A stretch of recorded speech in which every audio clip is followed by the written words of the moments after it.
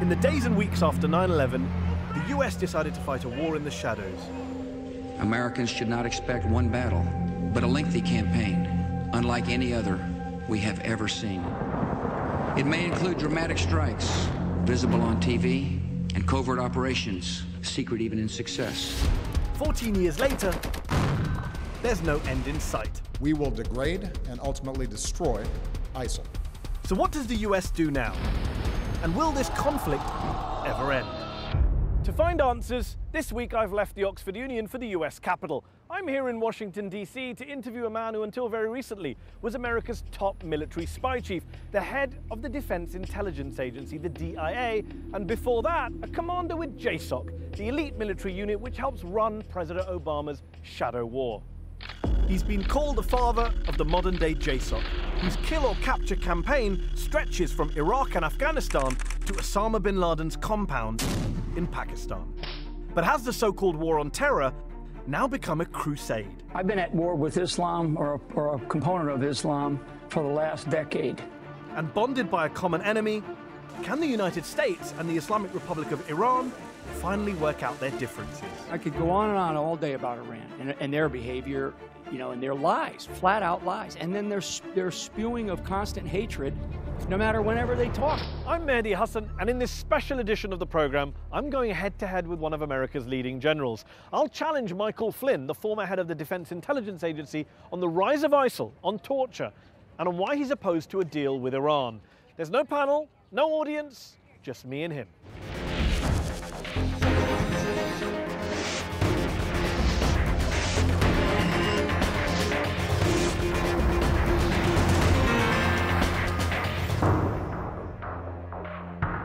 General Flynn, your former boss, President Obama, has said that his aim is to, quote, degrade and ultimately destroy the terrorist group known as ISIL. A year into the US led bombing campaign of ISIL, how close is he to achieving those goals in your view? Is he destroying, is he degrading ISIL even? Yeah, I think that he's degrading them. I don't think that we'll ever destroy uh, this, this organization. I mean, we may cause it to change its name, but we are never going to destroy this organization. Destroy means completely eliminate.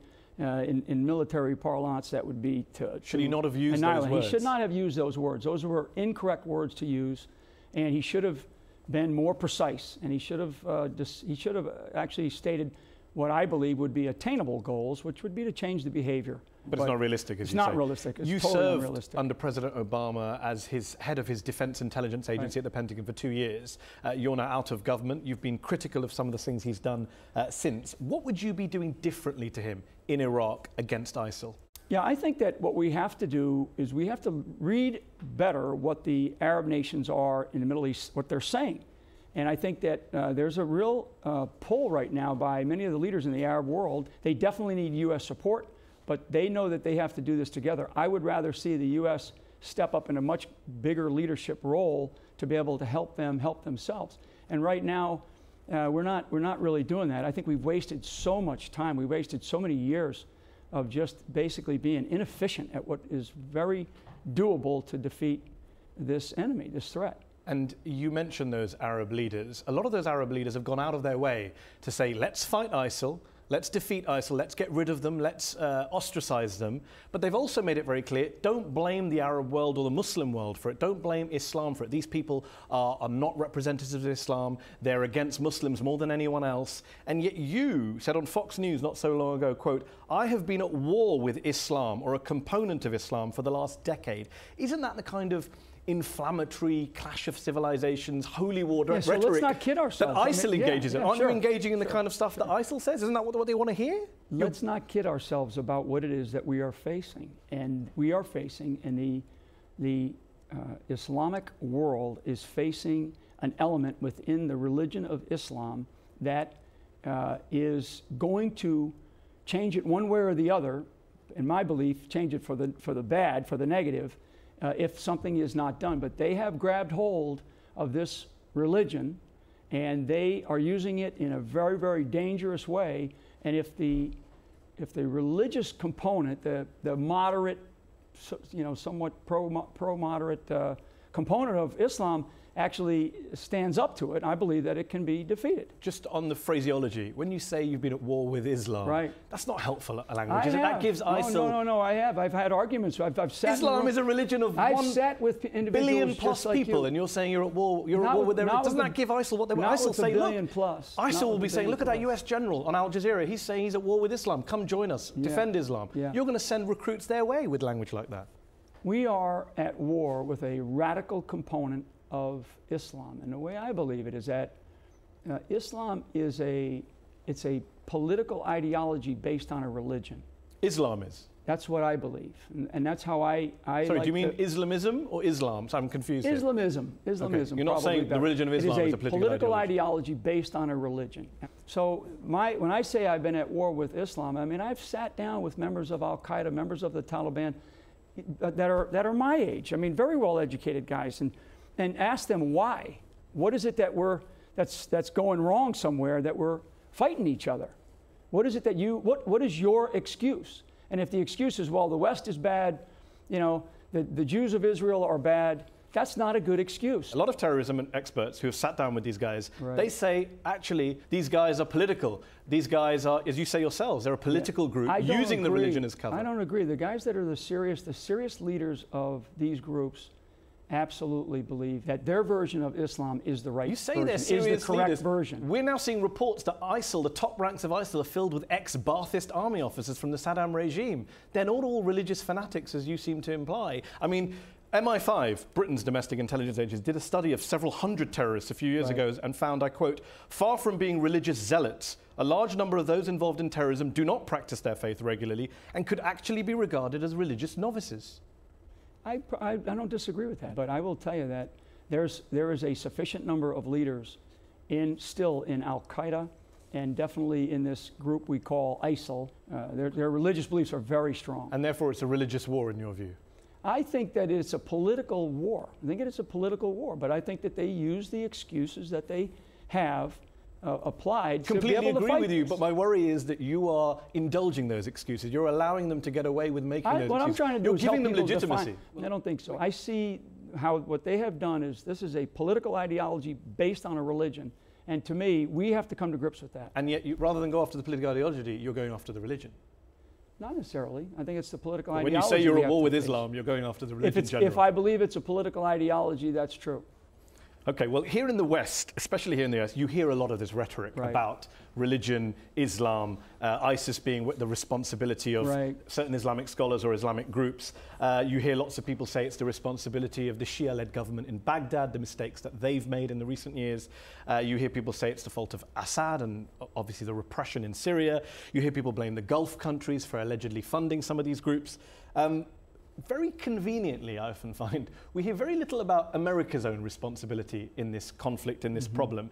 Isn't it the case, General, that there would be no ISIL today in Iraq if the US hadn't invaded and occupied Iraq in 2003? Yeah, I think that looking back, uh, there were a number of strategic errors that were made. You have to look back over, you know, 50, 60, 70 years, and you can even look back longer. But we definitely put fuel on a fire that was were- that By had, in- uh, by had invading some, and the behavior that that had some embers there. Oh yeah, absolutely. I mean, there's no doubt. There's no doubt. I mean, when we, you know, history will not be kind to the decisions that were made, uh, certainly in 2003, And here's the thing I don't really go, don't. going into Iraq. De- Yeah. definitely not. And, and not just with Iraq, obviously there's Syria. You're Yeah. on record as saying the handling of Syria by this administration has been a mistake. Many people would argue that the US actually saw the rise of ISIL coming and turned a blind eye, or even encouraged it as a counterpoint to Assad. And a secret analysis by the agency you ran, the Defense Intelligence Agency, in August 2012 said, and I quote, there is the possibility of establishing a so declared secret. or undeclared Salafist, it's not secret anymore, it was released under FOI. The quote is there is a possibility of establishing a declared or undeclared Salafist principality in eastern Syria, and this is exactly what the supporting powers to the opposition want in order to isolate the Syrian regime. The US saw the ISIL caliphate coming and did nothing. Yeah, I think that what we where we missed the point. I mean, where we totally blew it, I think, was in the very beginning. I mean, we're talking four years now into this effort in Syria. Most people won't even remember. It's only been a couple of years. The Free Syrian Army, that that movement. I mean, where are they today? Al Nusra, where are they today? And what have how much have they changed? when you don't get in and help somebody, they're going to find other means to achieve their goals. And I think right now what we have allowed is Hold on, you were helping them yeah, in 2012. We've allowed this, we've allowed these this extremist, you know, these extremist militants to come in. Why did you allow them to do that, General? Well, you were in those are- post. you were the head of the yeah, Defense right, Intelligence right. Agency. Well, those I- are- I- those are I, took the liberty. policy- I took the liberty of policy printing out that issues. Yeah. document. This is Yeah. the memo I quoted from. Did you see this document in 2012? Was this come across your table? One of Oh your yeah, yeah, yeah. I paid very close attention Okay, to all this. so when you Sure saw did. this, did you not pick up a phone and saying, "What on earth are we Sure. doing I supporting mean, that, these Syrian that, rebels?" That kind of information is presented, and And what did you do those about it? become those become. I argued about it. Did you say we shouldn't be supporting these groups? I did. I mean, we argued about these the different groups that were there, and we said, you know, who is it that is involved here? And I will tell you that uh, I, I do believe uh, that the the intelligence was very clear, and now it's a it's a matter of whether or not policy is going to be as clear and as defining and as precise as it needs to be, and I don't believe it was. Just on just on what you're saying, just to clarify here, you're saying today, today my understanding is you're saying we should have backed the rebels. You're saying in government you agreed with this We analyst. should have done more earlier on in this effort, uh, you know, than, than we did. We, But we in really, 2012, we, but in we sort of 2012, which was can. We but three, can, but three years ago, let's just be clear, just for the sake of our viewers. In 2012, your agency was saying, "quote The Salafists, the Muslim Brotherhood, and Al Qaeda in Iraq are the major forces driving the insurgency in Syria." Mm-hmm. In 2012, the U.S. was helping coordinate arms transfers to those same groups. Why did you not stop that? If you're worried about the rise of "quote unquote" Yeah, Islamic I, I, I mean, I hate to say it's not my job, but that my job was to was to ensure that the that the accuracy of our intelligence that was being presented was was as good as it could be, and I will tell you, it, it goes before 2012. I mean. When we, were, when we were in Iraq, and we still had decisions to be made before there was a decision to pull out of Iraq in 2011. I mean, it was very clear what we, what we were going to face. Well, I admire your frankness Very on this clear what subject. we were gonna let me let me just to, one before we move on, just to clarify once more. You are basically saying that even in government at the time, you knew those groups were around, you saw this analysis, and you were arguing against it. But who wasn't listening? I think the, I think the administration. The administration turned a blind eye to your analysis. I don't know if they turned a blind eye. I think it was a decision. I think it was a willful decision. a willful decision to go support an insurgency that had Salafists, Al Well, Qaeda, it's and a Muslim willful decision to do what they're doing, which which you have to really you have to really ask the president, what is it that he actually is doing with the with the uh, policy that is in place because. It is very, very confusing. I'm sitting here today, Mehdi, and I don't, I can't tell you exactly what that is. And I've been at this for a long time. Okay, well, let's go back to Iraq. I just want to ask you one Sorry. last question about Iraq. Many would argue that the Iraq invasion was a recruiting sergeant for extremists and terrorists. You seem to have conceded partly that earlier on in this interview. You said that I think it we was. A, added I think it was a fire. I strategic was mistake. I think history will not be kind. It But let me just get very mistake. specific on Iraq. U.S. prisons in Iraq are believed to have helped radicalize thousands of young Iraqis who passed through them. Absolutely. Uh, not just through torture, but through providing a recruiting ground, a meeting Yeah. place, a training facility for the very same militants Yeah. that the U.S. is now bombing. I think 17 of the top 25 Yeah, there- there's no, there's no commanders. doubt. There's no doubt that the prison system that was that was the Iraqi prison system became, uh, you know, places training ground, the, the, the training ground for what we're facing. So it wasn't just 2003 that US poured fuel on the fire. It was much later on as well. Well, I, I don't think it was so much. It's not the U.S. so much. I'm- I- well, let, me, I- let me quote you, your former colleague, Major Yeah. General Douglas Stone, who ran the U.S. Doug detention Stone, system in. Iraq. He said he called the U.S. prison system a jihadi university that was breeding more terrorists. Yeah, I, I believe that. And he ran them. I believe that. I it's not just the Iraqis, as you went just down, said, it's the I went down there. Well, I mean, what we did was we allowed, we allowed things to happen in those prisons, in those detention facilities, in, in Camp Cropper and Camp Bucca, to where guys like al Baghdadi spawned, and others as well. And then when we turned those detention facilities over to Iraq, that became far worse because there was no standards in those prisons at all. You at least were- we well, had let's standards. talk about let's talk about standards. You were a senior official in the Joint Special Operations Command at that time, JSOC, Right. which is the kind of elite, top secret unit uh, responsible for the killing of Osama bin Laden, among other things. Uh, you've been described as the father of the modern JSOC, uh, and you mentioned Camp Bucca and Camp Cropper, and you mentioned standards. You didn't mention Camp Nama in Iraq, Yeah. uh, which was nicknamed Nasty Ass Military Area. and where, according to a New York Times investigation, US interrogators beat prisoners with rifle butts, spat in their faces, and used them for target practice in a game of paintball, where the motto was no blood, no foul, meaning interrogators couldn't be prosecuted if they visibly, if a detainee didn't visibly bleed. Are you telling me, A, those are standards you're proud of, and B, that didn't help in the rise of ISIL? No, I mean, obviously, no. I mean, those are not standards. They're not standards that I will ever be proud of. And my, my role, my personal role, when you say the father of, you know, whatever, um, what I was asked to do, and this was post Abu Ghraib, so I was responsible for training interrogators Who then went and that- abused these who then- Iraqis? Who then went in. I mean, I, so we, we, we saw what was happening, but it's not the training that we were giving these people. When, when we saw what was happening inside of uh, the whole Abu Ghraib scandal, my role, and it was July of 2004, I was asked to come in and basically fix that problem. We shut that place down as fast as I could. Listen to the verdict of Human Rights Watch in their report on Camp Nama.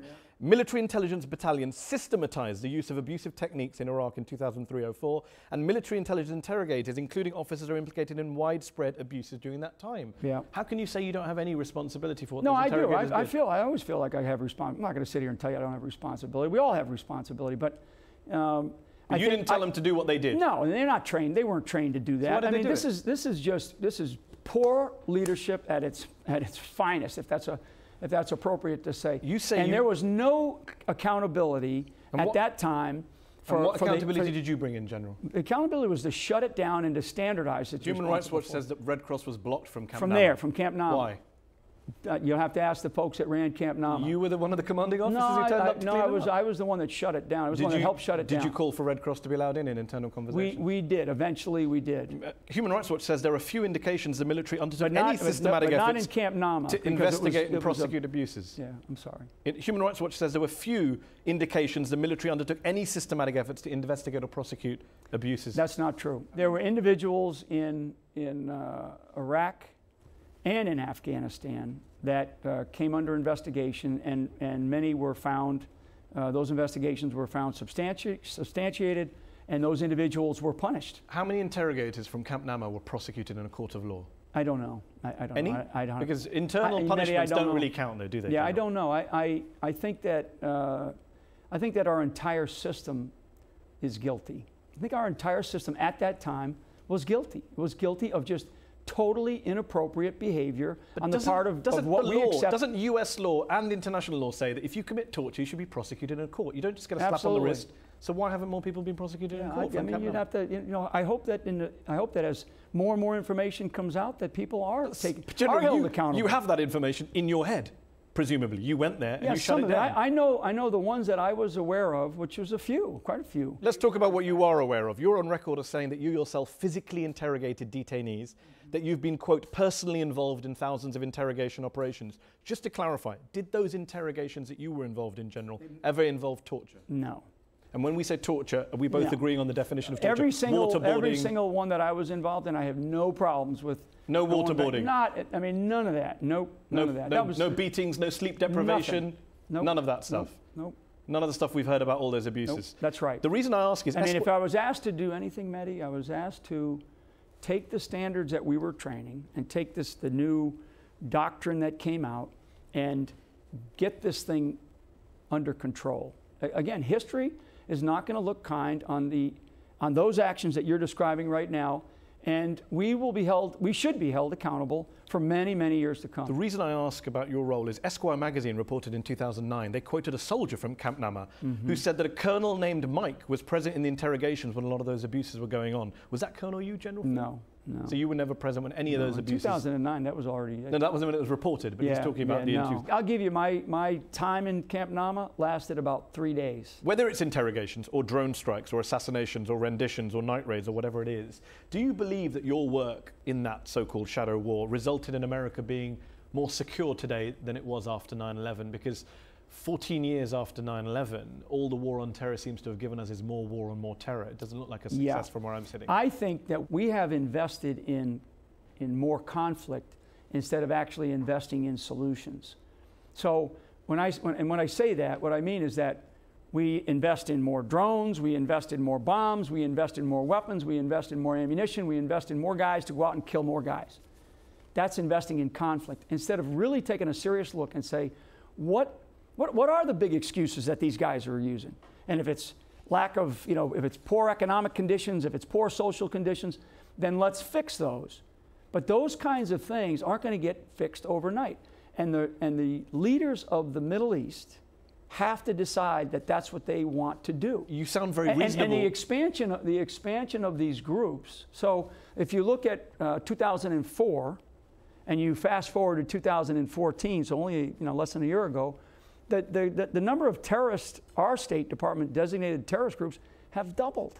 So something is wrong with our policy Yeah. and our strategy. And, and here's what I don't get. When you talk about fixing the underlying problems, when Right. you talk about not investing in conflict as the number one way of dealing Right. with this, I agree with you, and you do sound very reasonable and persuasive. And yet, in February, in front of Congress, you said when you were asked what is to be done, the enemy must be opposed, must be killed, must be destroyed. yeah, there's and that's It's kind of, there's a dove, General well, Flynn, and there's a hawk, no, I General mean, no. There's there are elements within this organization that are that the only way to deal with them is they either have to be captured and put away in a in some legitimate prison system that will actually hold them for Not a short Camp period of time, we hope. or or they will have to be uh, or they have to be killed. I mean, that's a component of of, an, of, a, of a much, much broader strategy. The military has to be like a lowercase m. I mean, it is so indecisive. It is not the, the piece that is going to win the day. There has to be other components of a strategy, and I don't see them. I don't see them. I see us, I see us making the military component the principal effort from our perspective, and I just don't see any other real strong informational, diplomatic, or primarily economic component to this thing. And uh, frankly, the, the, the region needs to come to the table and say, this is how we believe we can end this. You thing." say the region needs to come to the table, and yet you talk about the kind of failures of the military side. I'm asking about you, the role you played. You were JSOC, which Right. did this quote unquote shadow so war. So you keep saying Camp Nama, but we closed Camp Nama You down. closed That Camp was- Nama, but then you like did. I said, I but then you did. but then there. you did renditions. You did drone strikes. That- you did night raids. That's not my. That was not my responsibility, and I hate to say it like JSOC that, wasn't responsible for any drone strikes, really. well for drone strikes, Which yeah, have been a, yeah, which yeah, have been hugely counterproductive on the yeah. counter-terrorist front. Yeah. Many but the, analysts but the have argued rendition they've thing created. is a different issue. But the, a but the different drone strikes, many would argue. that's another show for you. Well, maybe another show, but the drone strikes, for example, many have argued they create more terrorists than they kill. The night raids in Afghanistan, I, I many have argued yeah, they I- create more terrorists than, they, than they get. I don't disagree with that. I, I think that that's in, that's conflict. When you invest in but conflict, respect, so when you that's drop your a bomb, failure, then, isn't it? when you drop a bomb from a drone, you're investing. You're you are going to cause more damage than you're going to cause good. And I think that So, do you think President Obama should be not ramping up drone strikes as he has done, but actually Yeah. ramping them down as his predecessor yeah, did? I think that there should be a different approach. Absolutely. okay. Absolutely. Well, I, I, I do think, believe, I, I do believe, though, Mehdi, that there are individuals that they will, they believe in perpetual conflict on the, uh, on these Islamic radical uh, front, so to speak. So they, and they've talked about perpetuating conflict for the rest of time. I mean, they've, some of these guys have written about it. So we have to understand that. So there's some that, that that's okay for, but, but I think as, a, as an overarching strategy, it's a failed strategy. Uh, on that note, uh, let's leave it there. We're going to take a break now on Head to Head. Uh, join me in part two, where I'll be discussing Iran and its controversial nuclear program with General Flynn. I'll ask him why he thinks the Iranians can't be trusted and why he believes doing a deal with them is dangerous. That's after the break.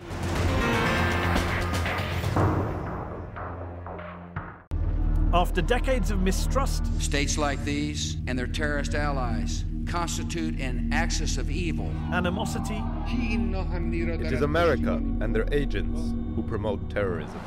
and mutual accusations, Iranian authorities failed. Iran and the United States have reached a nuclear agreement. While the deal makers believe the plan will prevent Iran from building a nuclear bomb, its critics have branded it a calamity. The other Sunni Arab nations will not sit by and watch Iran acquire nuclear weapons.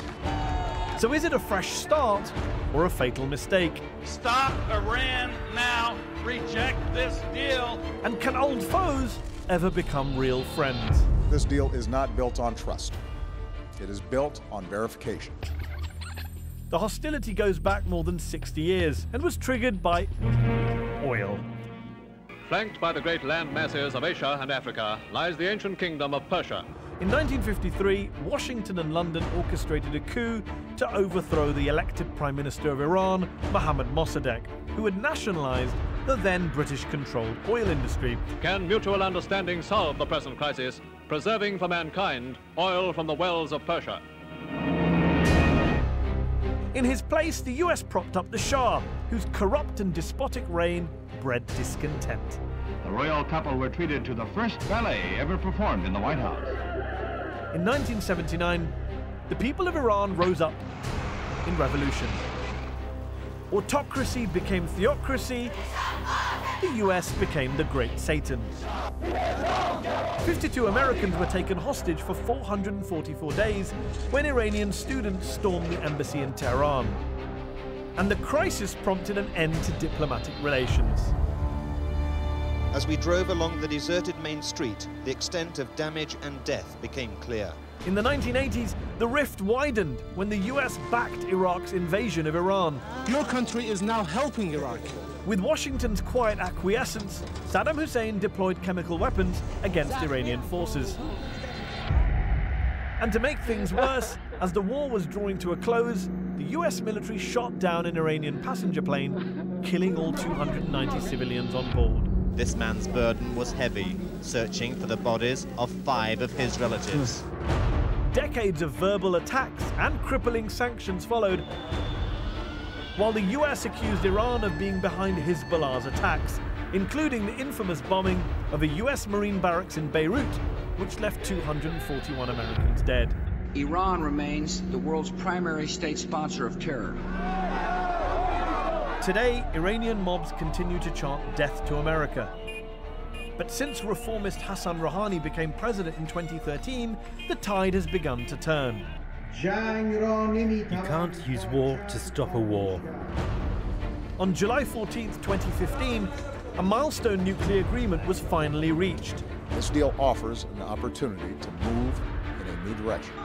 While for many, celebration, euphoria, and hope mark the day, the question remains is this the beginning of a new friendship, or are these two countries destined to remain the best of enemies?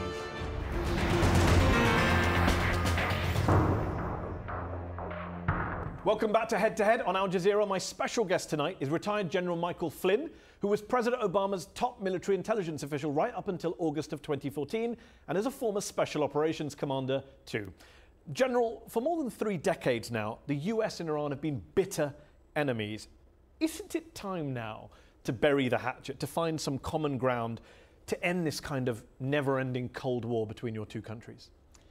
Yeah, and I, and I have, I mean, I will tell you, Mehdi, for many years uh, in, the, in the commanders that I have worked for, when I, when I have been asked, I've been very pro we have to do something with Iran. We have to talk to Iran in some form or fashion, but we've got to do it in a way that, uh, that also recognizes their, uh, their really bad behavior over the three plus decades, three and a half decades that, that, uh, that frankly the mullahs have been in charge of that country. Whenever you speak to American officials or former officials, they mm-hmm. talk about Iranian bad behavior, undeniable yeah, as it's it undeniable, that's right. But when you talk to Iranians or Iranian officials, they'll say, what about American bad behavior? We never sure. hear about America's support for the Shah, for the toppling of Mohammad Mossadegh, the Iranian prime minister, sure. for the support of Saddam's invasion of Iran, the shooting down of Iranian airliner. There's enough bad behavior to go around on all sides, isn't there? But it's not, you know, you know. So I'm not going to disagree with you on those on those issues. Well, you can't. Those are but, facts. Yeah, they're facts. But but it's, you know, it's so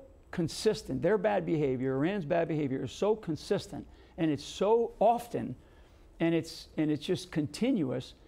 At some point in time, this is a country. Iran is a country that's got a it's got a uh, well-educated society. I mean, there's so many positives that and so much potential for them to contribute to the greater good of the world, yet they don't. They've decided that they're not going to do that. They've decided that they're going to be a pariah state instead of a contributing they state. would argue they've been made a pariah state. When they were invaded then by Saddam Hussein, they then, didn't get the support of the then, world. Then Saddam got the support of the world. Act differently. Then, then change your behavior. Change your behavior. Well, they would argue that these negotiations that have been, we've been yeah. seeing in recent years between the Obama administration right. and the Iranian government is an example of change behavior. I don't see it. I don't see the change behavior. I mean, I think that they violated, they continue to violate the sanctions. They continue to, to support uh, with weapons and other capabilities, uh, you know, bad behavior. You I mean, they're, they're doing them, they're doing things, and they're frankly working with, with certain countries that are allowing the sanctions to be busted. So, I mean, just, you know, get, get to a point where you accept your role in the world. And I think for Iran, they need to accept where they are going to be, where do they Well, want to be. you can't have it both ways, generals. You can't say we want to isolate them with sanctions, but they've got to play a positive part in the world. You've got to pick one or the other. That's what the Obama administration's doing. The reason why the sanctions, from if you you know go way back, is because of bad behavior.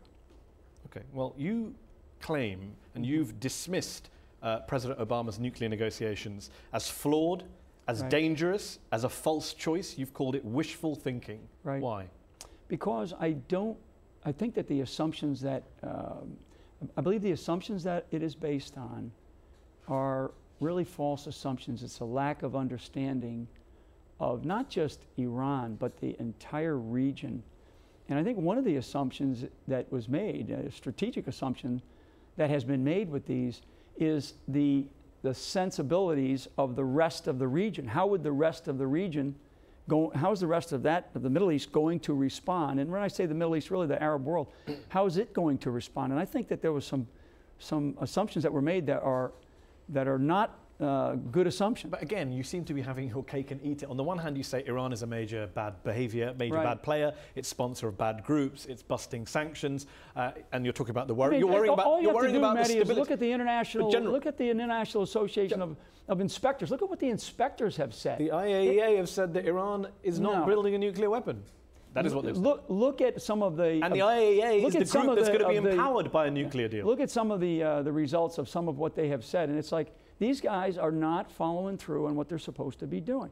That's just on the nuclear issue. But taking a wider point about the region, isn't the whole way you get stability in the region by bringing Iran into the fold, by bringing it in from the cold? I do. So I think the Rather than region- treating it like this kind Yeah. of child So- that you patronize and dismiss. Yeah, I don't think we're patronizing Iran. Well, you talk about Iran like a kind of No. like an unruly child. Well, they're, I mean, they're definitely a, a, uh, a nation state that has demonstrated behavior that is unacceptable to international norms and laws, and they don't accept accountability for any of their actions. So that's so putting that aside. Here's a, here's a country that is helping you Which fight country? ISIS. Iran is helping America fight ISIL in Iraq. for their own purposes. but nevertheless, still helping the United States. They helped the United States fight the Taliban They also in killed. Afghanistan They also killed a lot of Americans in Iraq. I'm not I mean, denying that. I'm saying and they also to you, killed a lot of Americans in Beirut and, Amer- and Americans in other embassies around the world. So, I mean, it's a funny. And there's plenty of documents suggesting that some of your Gulf allies have supported groups that have killed Mm-hmm. Sure. Americans. Uh, there are plenty of documents that show many of your other allies have worked against you. The Sure. point is, you only single out this one country. I think that there should have been some decisions made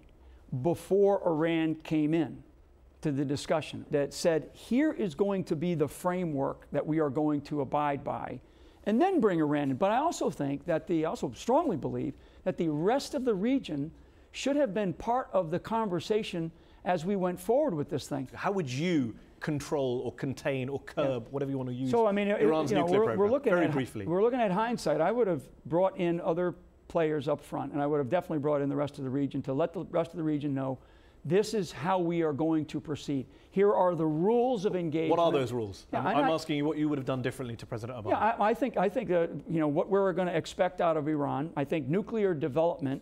I think changing the economic system in the Middle East is vital. I think I think all that the entire region needs to change General, you're not, asking you're not answering my question. How would you have got Iran's nuclear facilities to do the, pre- the president's proposed deal? Yeah.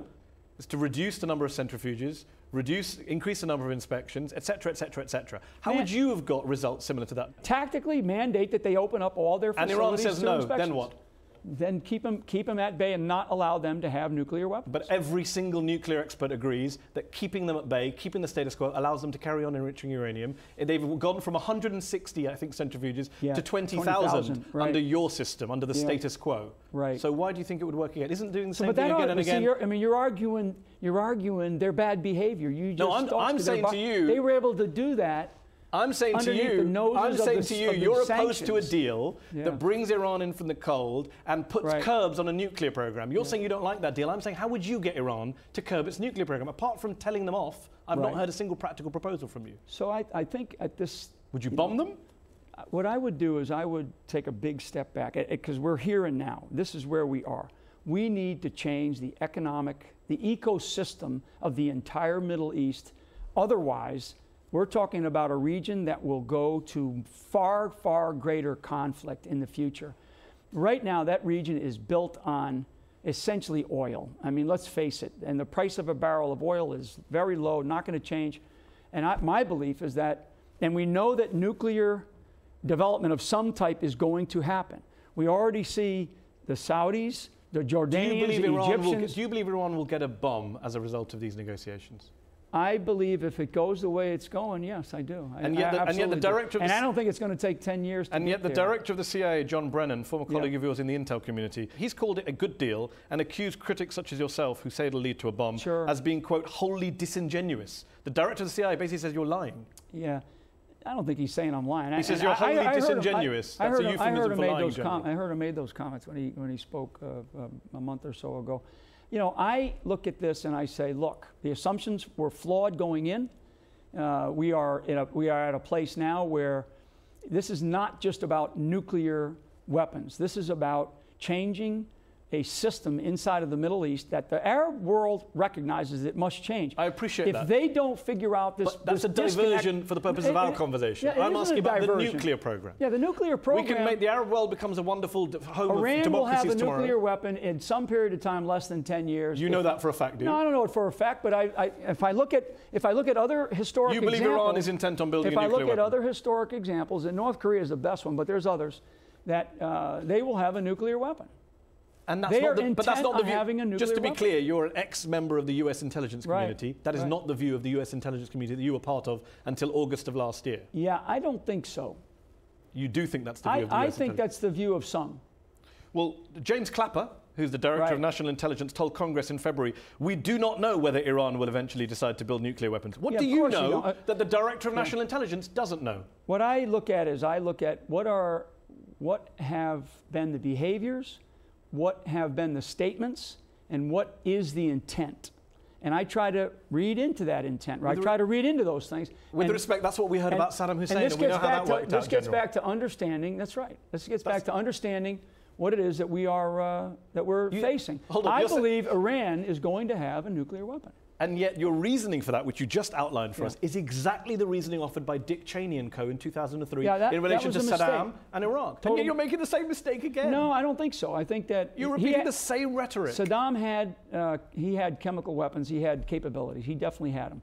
What what uh, the the you know the poor intelligence that that was displayed. But also poor time, thinking. There and was an very assumption. lack of imagination. And yet you're Total making the same assumptions today. You're saying No, that I I, believe I'm trying to that they're going to build a I'm- weapon, but I don't have any evidence Yeah, for what that. I'm but trying I to believe do, it. Mehdi, is I'm trying to get us to use our imagination and think differently about this. But this deal lacks imagination because it's solely focused on one very narrow thing the development of nuclear weapons. Instead of, let's take this up and say, how can we take this group, this P5 plus one and Iran, and maybe brought in the other members of the region and say, how can we change from, a, from an investment in conflict to an investment in basically a new life for these people of, of the Arab world? if it goes in this direction, Mehdi, this is a General- bad direction to go in. Not just a bad direction. According to you, it's wishful thinking It's on the president's thinking. part. And yet, people like Zbigniew Brzezinski, General Brent Scowcroft, former national security advisors, people like Efraim Halevy, former head of Israeli Mossad, Right. uh, variety of nuclear Oh, specialists in the United States, uh, Admiral William Fallon, former head of Central Command. Sure. They've all come out and backed this deal on exactly the grounds you're saying you oppose Yeah. it. They're saying it will open up Well, new let's- possibilities let's- in the so region. let's. This is a bit of a hypothetical, but this is happening as we speak. So we have nuclear agreements being signed with Saudi, with the Saudis, with Jor- the Jordanians, and with the Egyptians, and possibly, if I understand it right, if I read it right, maybe even in Tunisia. So those are nuclear agreements between those nations and Russia, because Russia is a is a nuclear developer. you believe they're all going to get nuclear weapons. That's your worry. Oh, it's going uh, to. If there's one thing I learned in the military a long, long time ago, and there's the phrase "be for it" when it is going to occur. It now equals nuclear development of some type in the Middle East. There are plenty across, of analysts and, and, and who disagree with want, you on that. Oh, I'm telling you, it's going to happen. It is going and to yet happen. Israel, so Israel has had nuclear weapons so in that region going, since the 60s, and that see, didn't prompt a nuclear What we're going to see is race. we're going to see either, and I, what I, where, where I'm involved and where I hope for is that we have nuclear energy development because it also helps for projects like desalination and, and but nuclear getting fine. water. It's legal. Nuclear it's energy would be great. Nu- if it was nuclear energy, in theory, the best case, excuse me, the best case would be no nuclear. That's not going to happen. You would like to see a region, Middle East, I, free of nuclear. Yeah, but that's that's ridiculous. Is that what you would like? Can I just I confirm? I would love to see it. So you would like to see Israel give up its 200 I nuclear love, warheads? I would love to see it, but it's not practical because actually nuclear energy is very clean, and it actually is it, it is so cost effective, much more cost effective for producing okay, so water from desalination. So then why don't we just welcome nuclear energy and keep, carry on efforts to stop nuclear I would weapons? love it. I would love it. Okay, so we're all on the same page. One I mean, last I think, I think that's the, that, but, but it has to be done in a very internationally inspectable way. That's and, exactly and, what's happening yeah. right now, General. You no. keep, you keep, well, the majority of experts disagree with you respectfully. You keep going on about the Iranian threat, and you began this part by talking about Iranian right. bad behavior. Isn't it the case, General, that Iran, for all its bad behavior, in terms of threat levels, is unlikely to initiate or intentionally uh, provoke a conflict or launch a preemptive attack on the United States? Iran. Well, I think no. I don't think that's. You don't agree I, with that statement. I don't think that's a true statement. That statement, general. That statement. statement, general, is your statement yeah. from February 2014. I, I, don't think that's a true statement because. So were you lying when you well, said it I last think, year? I, I think it's. I think the word is directly. Now, if you say. Your, your against, words. I know. I know. You said know. unlikely. Let me just yeah. clarify. Unlikely to initiate or intentionally provoke a conflict right. or launch a preemptive attack on the United States. Those right. are your words. I think as what we have DIA. to do is we have to look at uh, our embassies around the world. I mean, a direct attack would be on the sovereign the sovereignty of the United States. I think Iran attacking like a like an Al Qaeda 9/11 type of attack is unlikely. That's not, that's unlikely. So you still stand by on the that soil, statement? yeah, on the soil So of the United incorrect. States. It's not. It's not incorrect. It's not incorrect. I think that that's true.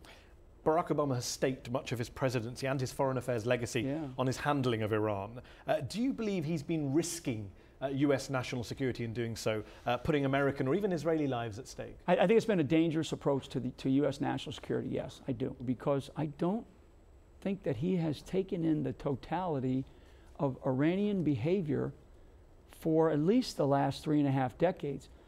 Uh, you know, and I have the, the the past history with the United States, but we have to not. We have to worry about the past, and we have to recognize where we made mistakes and where others made mistakes. But we have to think about what is the future that we are trying to achieve. And I believe that it's very, very narrow. It's, it's, it's, it's a very narrowly viewed future. We have to think about the next 10 years, the next 50 years, the next century. So when you hear- and there are, there are solutions that can get us there. So when you hear people like Senator Lindsey Graham saying the president has failed miserably to protect America, or Senator John McCain uh, calling him the most naive president uh, in history, is that a critique you share? I think that uh, those are, uh, th- from those gentlemen, I think that those are, uh, those are certainly what they believe. I, I share some of that. I think that um, they're also talking about uh, the Islamic State and the rise of the Islamic State, the rise of terrorism. So I, I think if they, you know, if, if what they're talking about is that whole context, then I share it. And I believe that we have to be very circumspect about what has, what kinds of actions have we brought forward in the Middle East that have caused this expansion of this rise of Islamic extremism and also this behavior that Iran has had over many decades. Just on, on the president's national security policies, here's what's interesting. Uh, here in Washington, D.C., you hear a lot of people across the political spectrum, but especially on the right, saying he's weak. Uh, he's not tough enough. He apologizes to all our enemies. Uh, you know, he's given up some of the successes that he inherited, etc., etc. Um, and then across the world, and I'm sure some of our viewers will share this view, you have people who say Barack Obama. I mean, this is a guy who's ramped up drone strikes in Pakistan, killed U.S. citizens without trial, toppled Colonel Gaddafi in Libya, uh, is back in Iraq bombing ISIL, surged troops in Afghanistan, uh, sent Navy SEALs in to kill Bin Laden. So the critique elsewhere in the world is actually it's not that he's too soft. It's that he's he's as hard as George Bush was. He was too he's too tough. Yeah, I, I think he's too tactical. So the, the examples that you just gave, Mehdi, those are all tactical examples. And I think drone strikes is a tactic. Um, we, need, we need big leadership and we need big strategic vision right now. strategic vision that, the, that I, I believe only the United States can provide, frankly, because just the scale of what the United States can offer the rest of the world, and we need big strategic, visionary leadership that, that, that solves a problem in the Middle East that the rest yet, of the world is part of. You know, the word abandonment has been used by multiple people from multiple countries about the United States. We feel abandoned. That's not a good place for us to be. And those are pretty senior people. But on those, on, on, those, le- on those the kind of leaders so who rely on the U.S. So to keep them in power. So if we we're, if we're dropping drones and we're killing you know this guy or that guy and we're you know training 60 guys, I mean those are tactical, you know narrow things that will never. Those are investments in conflict, in greater conflict. They are not investments in real strategic solutions. And there are strategic solutions for this region. And, and frankly, an entirely new economy is what this region needs. They need to take this 15 year old to 25 or 30 year old. I mean, Saudi Arabia, the, the largest segment of their population, in Egypt, the largest segment of their population, 15 to roughly 30 year old, mostly young men. You've got to give them something else to do. If you don't, they're going to turn on their own governments and we can solve that problem. And yet, the United States backs those governments in Saudi Arabia and Egypt that are seen and so that's so got to that has to be a conversation that we have. Yeah, so that's a conversation that we have to have with them, and we have to help them do that. And in the meantime, and, and allow and in the meantime, we carry on giving them weapons, well, in, supporting in the their conflicts. In the meantime, what we have is turning a have, blind eye to human rights abuses. In the meantime, abuses. Mehdi, what we have is we have this continued investment in conflict. The more weapons we give, the more bombs we, we drop, that just that just fuels the, the, the conflict. Some of that has to be done, but I'm looking for the other solutions. I'm looking for the other side of this argument. And, given, and, and well, we're not having a, it. Well, given this is we're, the part we're not your, having it as given the this is the part of your narrative that I agree with. Yeah. Let's wrap up on that point. But okay. let me ask you one question before I go. You've been very critical of President Obama and American strategy in recent mm-hmm. years. Um, have you considered running for office yourself? Now you've mm-hmm. left the military. There's, America has a long history of I've been generals. Asked. I have been asked. I have been asked. But I, you know, right now, I mean, God, why? Which party? Because you're a registered Democrat, I believe. Yeah, yeah.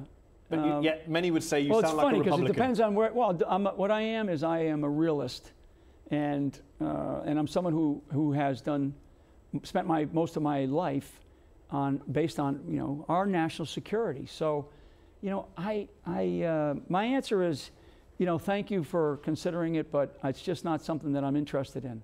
Not right now. Not right now. I mean, it's just it's it. God, I mean, look at politics. It's so ugly. But to quote the president on Iran, all options are on the table. Yeah, all options are always on the table. The you know, to, to, for, to, finish real quick, the last uh, one of the things I learned as a, as a military guy is the best plan gives you the most options at the last possible minute. So I'm going to maintain all of my options right up until the last possible minute. Okay, well, that's all we have time for here on this head to head special from Washington, D.C. Uh, General, thank you very much for Thanks, joining me Mehdi. here in very the studio. Nice uh, thank you all at home for watching. Next week, we'll be back in the Oxford Union in front of an audience for a new episode of Head to Head. Good night.